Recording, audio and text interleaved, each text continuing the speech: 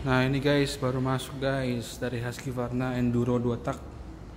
Kita ready TE 300i Ini tahun 2021 Baru masuk di showroom ASRMX Indonesia Di kota Cirebon. Ini option di FMF full system.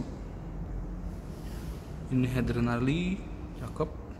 Ini slip on FMF blue titanium. Suaranya tarikannya powernya udah pasti bakal makin mantep.